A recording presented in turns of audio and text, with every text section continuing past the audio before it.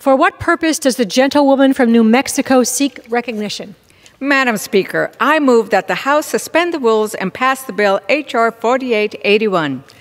The clerk will report the title of the bill. H.R. 4881, a bill to direct the Secretary of the Interior to take into trust for the Pascua Yaqui tribe of Arizona certain land in Pima County, Arizona, and for other purposes. Pursuant to the rule, the gentlewoman from New Mexico, Ms. Leger Fernandez, and the gentleman from Arkansas, Mr. Westerman, each will control 20 minutes. The chair recognizes the gentlewoman from New Mexico. Thank you, Madam Speaker. I ask unanimous consent that all members may have five legislative days in which to revise and extend their remarks and include extraneous material on the measure under consideration. Without objection. Madam Speaker, I yield myself such time as I may consume. The gentlewoman is recognized. Thank you, Madam Speaker. H.R. 4881, the Old Pascua Community Land Acquisition Act, introduced by Natural Resources Committee Chair Grijalva of Arizona, will direct the Secretary of the Interior to take approximately 30 acres of land into trust for the Yaqui tribe. The Yaqui tribe is located in southern Arizona near the city of Tucson and has approximately 22,000 enrolled tribal members with a 2,216 acre reservation. Before the federal recognition of the Pascua Yaqui tribe, Yaqui leaders, local leaders, and others worked together to establish a home for tribal citizens.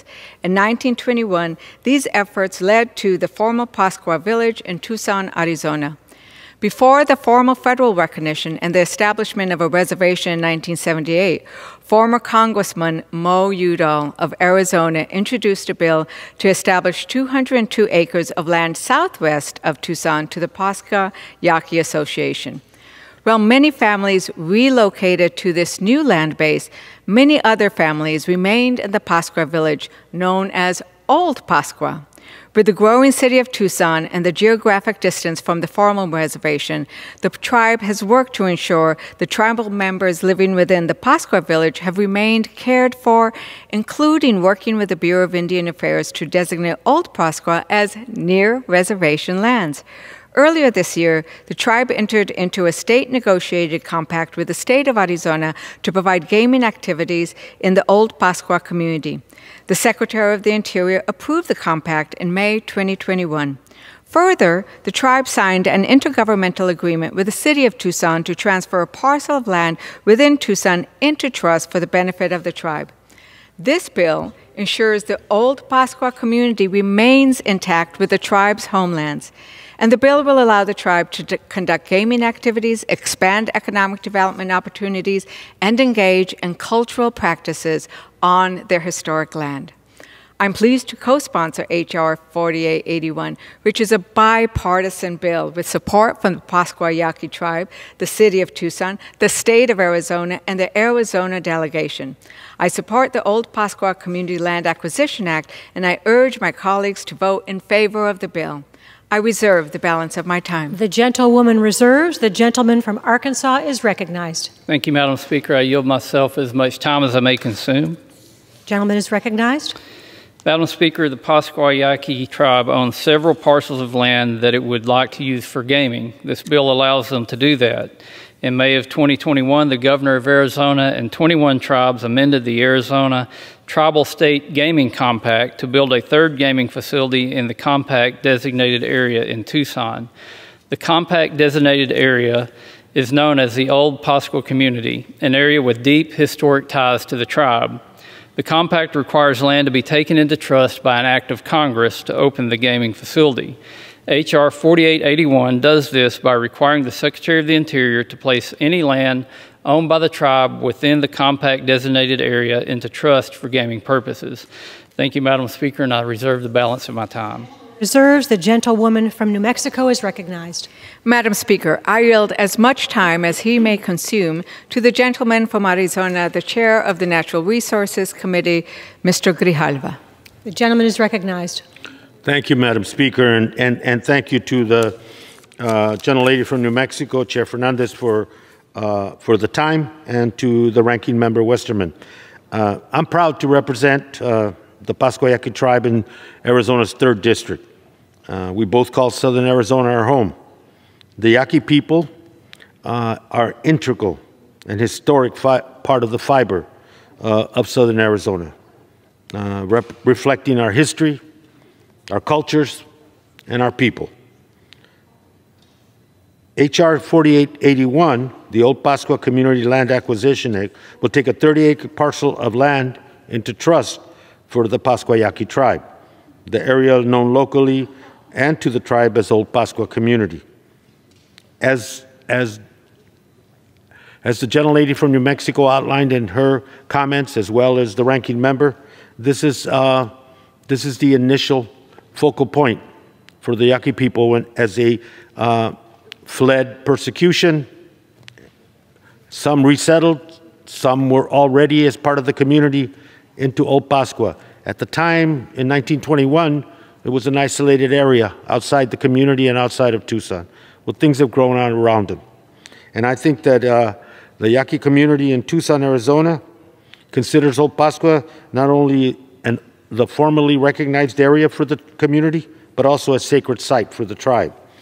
Before receiving federal recognition and a formal reservation south of Tucson, many Pascua Yaqui families called Old Pascua in Tucson their home. Today, many families still call Old Pascua home, yet they continue to fear lose, they continue to fear losing their Yaqui knowledge, culture, history, and traditions due to the encroachment of a growing city of Tucson. Other areas of concern for Yaqui families include the lack of ownership for sacred, cultural, traditional, and religious grounds. The tribe has worked tirelessly to ensure that, that they take care of their tribal citizens. Earlier this year, as, as Mr. Westerman outlined, the state of Arizona and the tribe negotiated a state compact. This compact included gaming activities in the Pascua community to promote, promote the tribe's governmental operations, cultural and religious activities, job creation, increased tribal housing, social and community services, health care, and educational facilities. The tribe has worked tirelessly and with the city of Tucson to address their concerns, with the county of Pima to address their concerns, with the state of Arizona, and have entered into an intergovernmental agreement supporting the legislation and the land transfer. Since this agreement, the state has negotiated a compact that reflects that agreement and approved it, and the Department of Interior has approved it.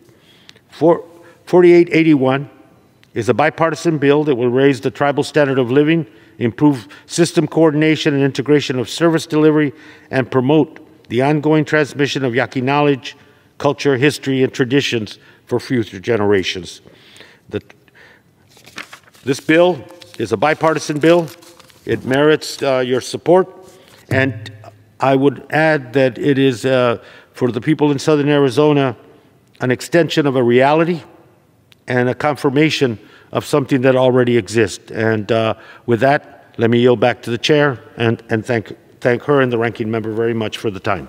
I reserve. The gentlewoman reserves. The gentleman from Arkansas is recognized. Madam Speaker, I yield back the balance of my time. The gentleman yields back. The gentlewoman from New Mexico is recognized. Madam Speaker, this bill once again demonstrates that there is strong bipartisan support for support for our Native American tribes and indigenous communities. I want to thank Ranking Member Westerman as well as Ranking Member Don Young on the Subcommittee on Indigenous Peoples. The other thing that this bill does, as has been um, highlighted by Chairman Grijalva is that it comes out of collaboration and conversation with everybody on the ground.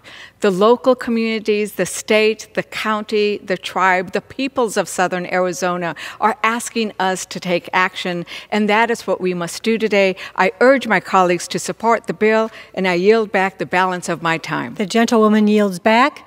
The question is Will the House suspend the rules and pass the bill H.R. 4881? Those in favor say aye. aye. Those opposed, no. In the opinion of the chair, two thirds being in the affirmative, gentleman from Virginia. Requesting a recorded vote, please. Pursuant to Section 3S of House Resolution 8, the yeas and nays are ordered. Pursuant to Clause 8 of Rule 20, further proceedings on this question will be postponed.